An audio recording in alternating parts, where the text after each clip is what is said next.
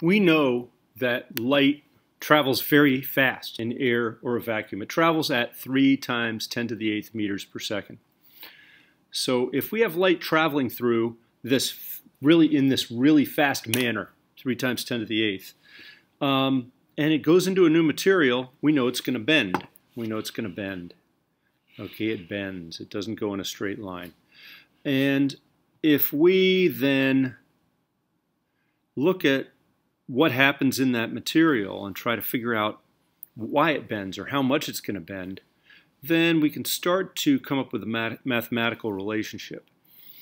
And it's based on how fast light travels here, 3 times 10 to the 8th, and how slow, how much, how much, I'll say less fast it travels here, the velocity of light in the material. And we know that it's going to bend towards the medium excuse me, towards the normal, towards the medium. I don't know what I'm thinking here. Okay, so if I get right in there, we know that this angle and this angle are going to be different because the light doesn't go straight through, it bends towards the normal in the slow material. If I shine light the other way, light bends, going from slow to fast, bends away from the normal.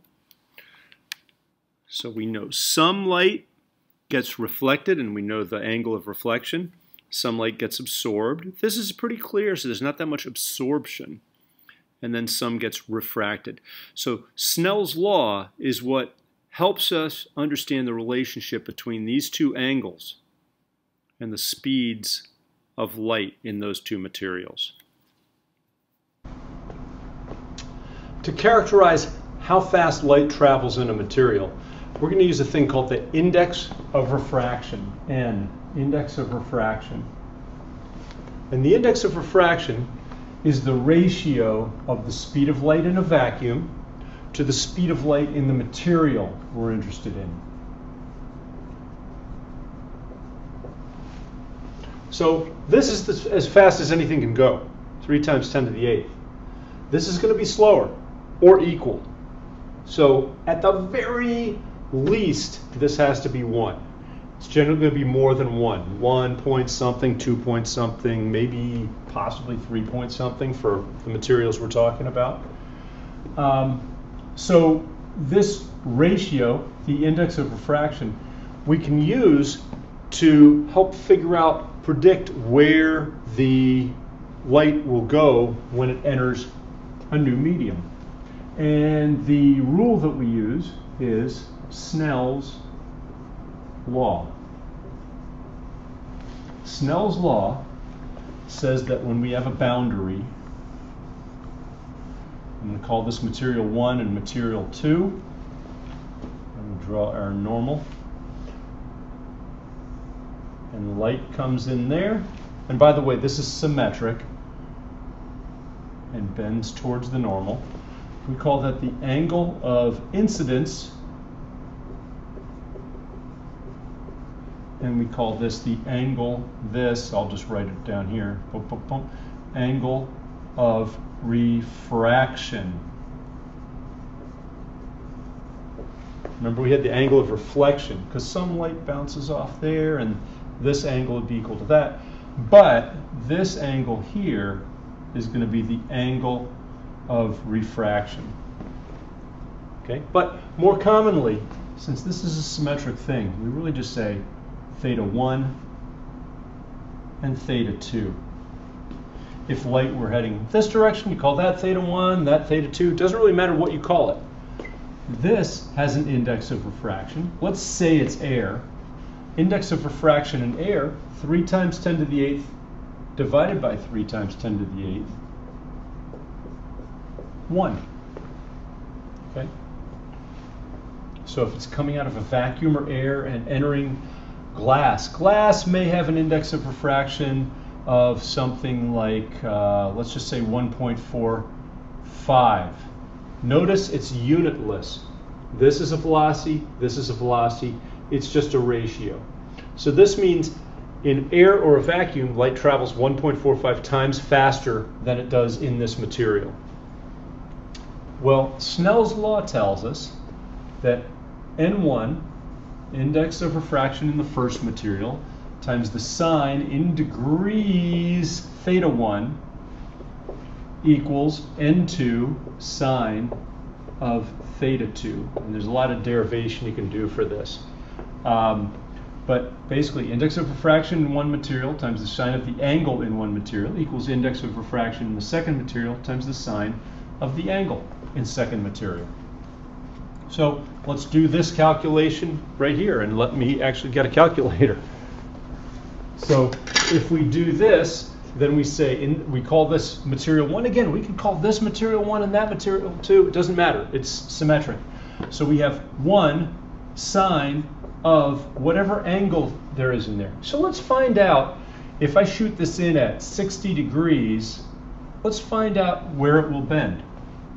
So 60 degrees, again, want that in, um, well, for measuring in degrees, we want to put that in there. And then 1.45 sine of theta 2. Sine of 60 degrees is 0.866 equals 1.45 sine theta 2. Sine of theta 2 is going to be 0.866. Uh, 0.866 divided by 1.45. That ends up being 0.597. Now, to get that, we need to do the inverse sine of both sides. Whatever I do to one side, I got to do to the other. Inverse sine of 0.597 is the inverse sine of sine of theta 2. Let me write that. Inverse sine of sine of theta 2, which just basically cancels those out and gives me theta 2. So in here I'm going to put second inverse sine of 0.597 equals 36.6 degrees.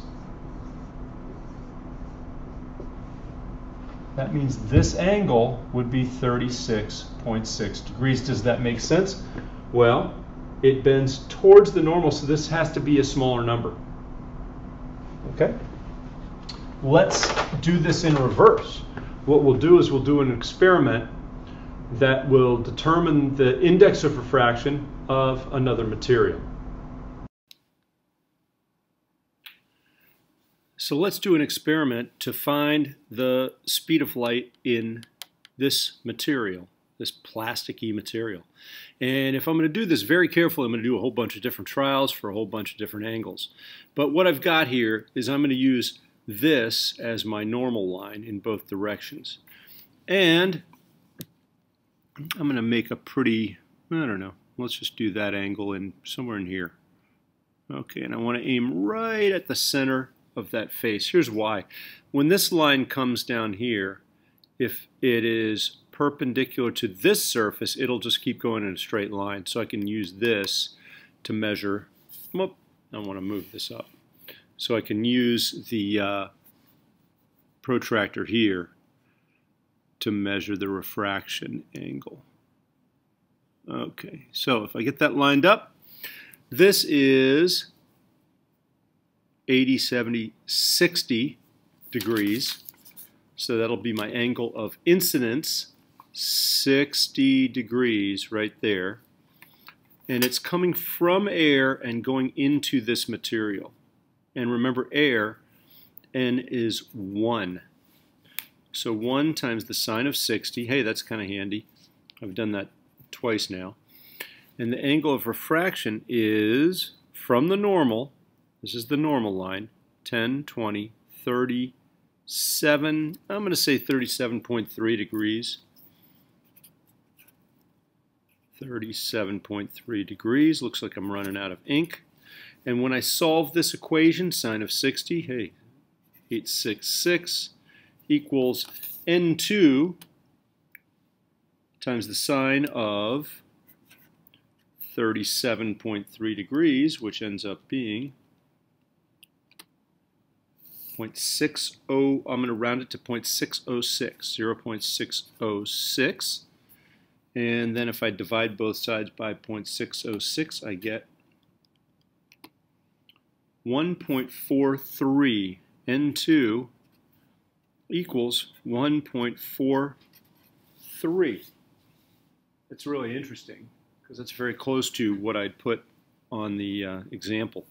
So I get 1.43. What does index of refraction mean? Remember, index of refraction is c divided by the velocity in the material, the speed of light in the material. So if I do 1.43 equals 3 times 10 to the 8th divided by v, I can find my velocity is, of speed of light in the material, 2.099 times 10 to the 8th meters per second. That's how fast light travels in that material. So there's, uh, there's Snell's law. I'm sorry, I left that off the bottom. There's Snell's law in two ways. One is uh, given the angles, find the material. The other is given the material and N1 and N2, find the angles.